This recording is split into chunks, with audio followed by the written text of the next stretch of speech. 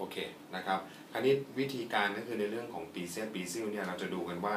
อ่าด้วยตัวเขาเองสังเกตไหมว่าเขาจะจะว่างปากเขาจะว่างครับคราวนี้การวางปีเซียถ้าเกิดในกรณีปากว่างเนี่ยเท่ากับเขาจะไม่รู้ว่าเขาจะต้องต้องทำอะไร พอมาเมืองไทยหรือมาทำในลักษณะเนี่ยเราต้องเสกกำกับก่อนงั้นเดี๋ยวเรามาเสกกำกับกันว่า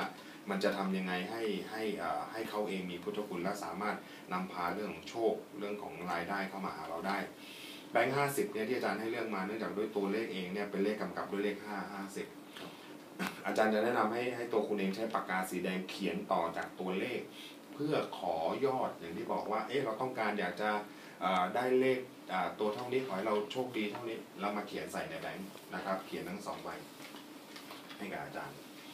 สองใบนี้เนี่ยก็คือใบหนึ่งใบหนึ่งก็จะเป็นอีก